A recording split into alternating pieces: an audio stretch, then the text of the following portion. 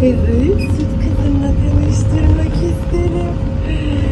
Şu güzelliğe, şu tatlılığa Allah'ım. Nasıl yakıştı, nasıl yakıştı anneciğim. Anneciğim çok güzel oldu baksana. Nasıl güzelsin. Nasıl güzelsin anneciğim sen ya. Sen çok güzel bir kızsın anneciğim sen ya. Sen çok.